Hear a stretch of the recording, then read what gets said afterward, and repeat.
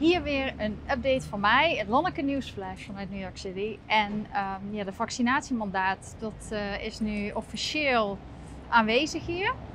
En het wordt gecontroleerd.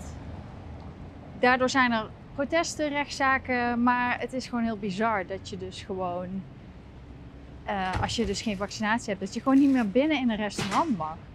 Hier heb je dus geen uitzondering dat je getest mag worden. Het is gewoon vaccinatie. Dat is het enige wat mag. En er is dus ook geen medische uitzondering. En ja, er zijn heel veel mensen die kunnen gewoon geen prik. Ik merk gewoon dat vooral op Manhattan wordt er heel serieus aan meegedaan. Want dit is een van die restaurants waarvan de eigenaar meteen klaar stond om uh, dit mandaat in te voeren.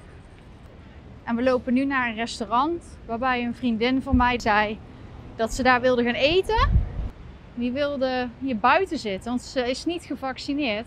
En dat mocht niet. Ja, ze hebben nu dus geen outdoor dining hier, maar normaal zitten, staan hier allemaal tafels. En uh, ze vroeg, ik wil buiten zitten dan, want dat mag van de blaasje als je niet gevaccineerd bent. Nou, dit restaurant zei, absoluut niet. Je mag hier alleen eten als je gevaccineerd bent. Excuse me, is it true my friend came here and she was not vaccinated, that you only have people uh, indoor and outdoor, you have to be vaccinated? Yes. Isn't that a little bit weird?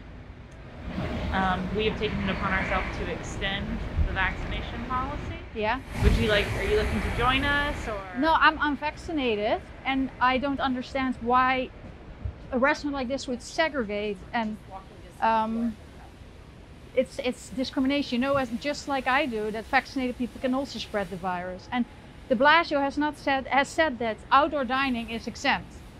But so why do you do that then? Like I said, we have taken it upon ourselves to extend our vaccination policy. Um, it is within our rights to do so. Yes, of course. But I'll tell all my friends to never come here then. You know, even if they're vaccinated, I think it's not the right thing to do.